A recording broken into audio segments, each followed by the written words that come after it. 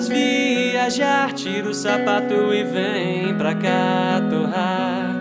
Nossa grana em bebida, gasolina andar. Sem foco, sem lugar.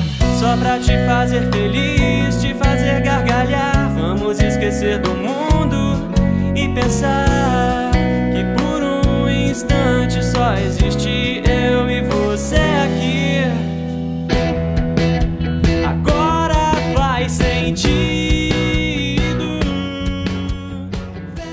Paula, dá licença, a senhora tem visita. Dalva, pode ir, obrigada. Fernando, pode ir, obrigada. Eu quero as vans de volta. Eu não vou devolver as suas vans. Cadê o dinheiro que você me deve? Alguém me denunciou. A documentação da loja não estava em dia, eu tive que dar uma grana na mão do fiscal. Ah, que pena. Porque eu quero meu dinheiro todo.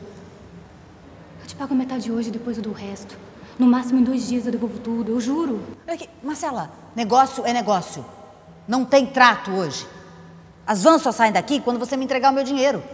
Acho que isso já estava bem claro entre a gente ou não. Como é que eu vou ficar? Não tá vendo que a culpa não é minha? Minha também não é. Aliás, ninguém tem culpa disso. Ninguém tem culpa nisso. Mas eu quero meu dinheiro todo. Ou é o meu dinheiro todo ou não é nada. Você entendeu? Por favor, eu faço o que você me pedir. Eu te dou mais dinheiro se você quiser. Me ajuda. Meu negócio depende disso. Com as mãos paradas não tem como eu pagar ninguém. Eu coloquei todo o meu dinheiro nesse negócio. Será que você não tem coração? Coração é coisa de gente fraca. Tô te pedindo.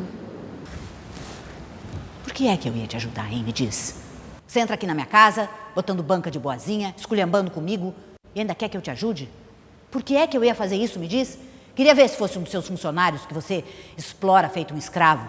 Se ele não te desse o dinheiro que ele te deve, que é que você ia fazer, hein? Você tá falando isso porque você nunca teve que trabalhar para ganhar dinheiro.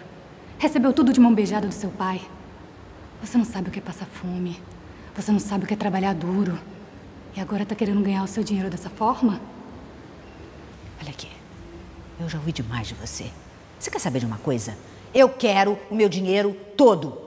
Você tá sendo baixo. Eu só tô seguindo o seu exemplo, querida, porque você pensa como pobre. Aliás, você é pobre, não é?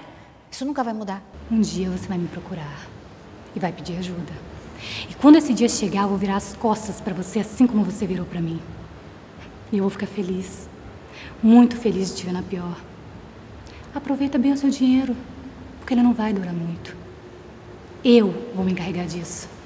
Vou fazer você perder tudo. A sua vida vai virar um inferno. Sai daqui. Sai da minha casa agora. Dalva! Dalva!